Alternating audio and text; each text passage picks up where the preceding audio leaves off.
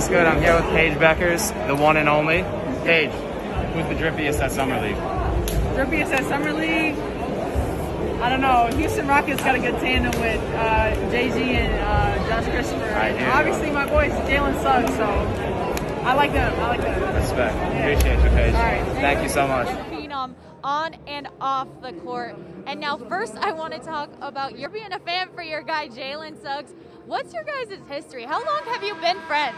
We've been friends since like elementary school. It's crazy to see my childhood best friend now in the NBA. It's still surreal, so I'm just really enjoying it.